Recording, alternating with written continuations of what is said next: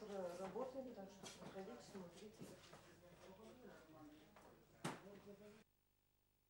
Здравствуйте. Э, Я научный сотрудник Алекминского музея истории земледелия Якутии имени Ивана Яковлевича Строда. Но наш музей это носит основное направление истории земледелия, но тем не менее мы стараемся показать все стороны жизни народов Якутии, в том числе населения Алекминского улуса.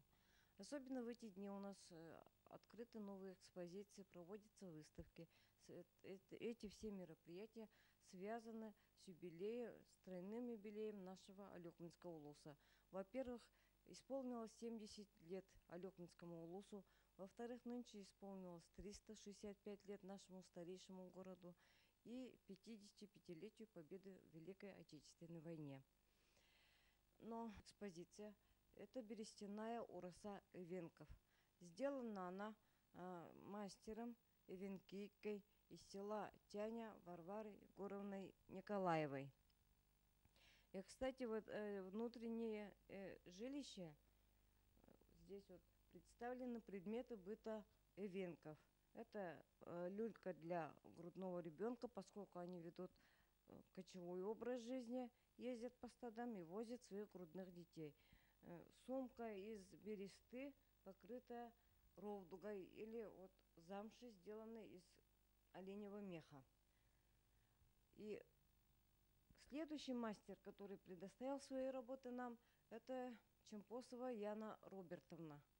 А, Яна Робертовна предоставила нам одежду, одежды Эвенков. Это, во-первых, передник и такие вот торбоза из очень мягко выделенной, выделанной кожи, ровдуги. Все это вышивка бисером. Что характерно, Яна Робертовна вот в декабре 99 года со своими работами выставлялась в нескольких республиканских выставках. Она участница э, выставки в Москве от имени Республики Саха. И многие ее изделия продолжают выставляться в Москве. И таким образом, э, в декабре 99 года она получила звание народного мастера по пошиву традиционной одежды народов Севера. Заново, да? Мгм. А здесь у нас дар, сувенирный коврик, вете- работы ветерана педагогического труда Корниловой Капиталины Романовны из села Кыллах. Это э, сувенирный коврик она вышила к 350-летию города Алекминска. Прошло 15 лет, и наши коллекции нашими мастерами пополняются. А, но э, здесь она а, использовала вот основной мотив. Это якутская лира, а, якутский музыкальный инструмент хамус. Но основой, центральной частью является вот острог и а, башня якутского острога.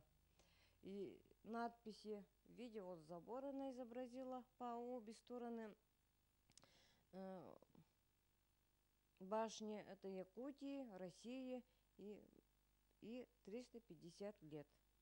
Вот такими работами мастеров пополняются коллекции нашего музея. Но вот следую, э, еще хотелось бы сказать, что в 1994 году наш город вошел в десятку старинных